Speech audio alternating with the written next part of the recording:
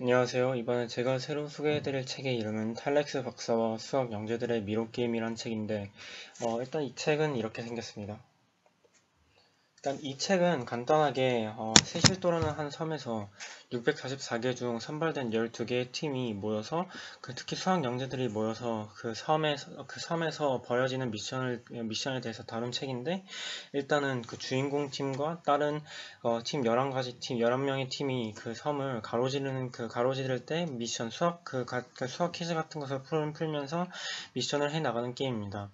일단 이 주인공의 팀은 고양이파라고 불리고 그리고 이 고양이파가 가장 그 가장 그 경계하는 가장 경계하는 상대방이 돼지 삼총사라는 팀입니다.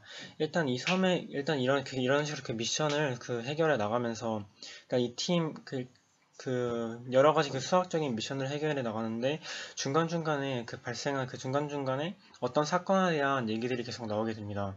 이 사건이 어떤 것이냐면 옛날에 이 주인공 중에서 한 명의 그, 그 주인공 친구 중에서 한 명의 이름이 진수인데 이 진수의 할머니가 이 섬에서 실종이 됐던 그런 그러한 일이 발생했습니다. 이, 이 섬에서 실종이 됐을 때 어, 이 할머니 이, 그, 이 할머니가 실종이 됐고 이 섬에는 한 동굴이 있는데 어, 이 돼지 삼총사 이 돼지 삼총사 팀이 그 동굴 쪽으로 들어갔다가 똑같이 실종이 되는 그런 일이 일어납니다.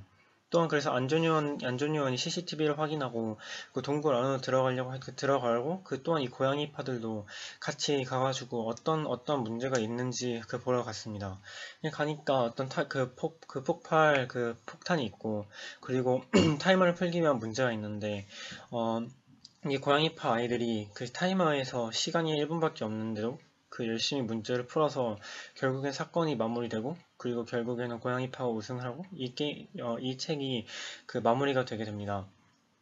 일단 이 책을 읽고 그 이 책을 읽고 그 배울 수 있는 점이 어, 친구들끼리 협동력을 배울 수 있고 그리고 또한 자신의 라이벌이라든 그 자, 자신의 라이벌이라든지 경계하는 자신의 그 자신의 적이랄 때 비록 자신의 적이 그 적일지라도 역시 그, 그 상대방이 공경에 처해 있으면 가가지고 도와주는 그러한 모습 그리고 또한 어, 자신의 친구의 목숨이 걸려 있고 자신의 목숨 또한 걸려 있는데 어, 자신의 친구를 위한 그런 그런 그 우정 같은 것이 그, 그 우정으로 그 문제를 풀고 그 친구를 구한 그런 모습들을 배울 수 있다고 생각합니다.